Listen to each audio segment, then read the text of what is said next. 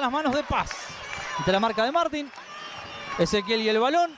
De pique para Pautazo. Rompe hacia el canasto. Hacia afuera. Paz. Ataca decidido. Cambia de mano. Un qué golazo acaba de hacer Ezequiel. Tengo que anotar.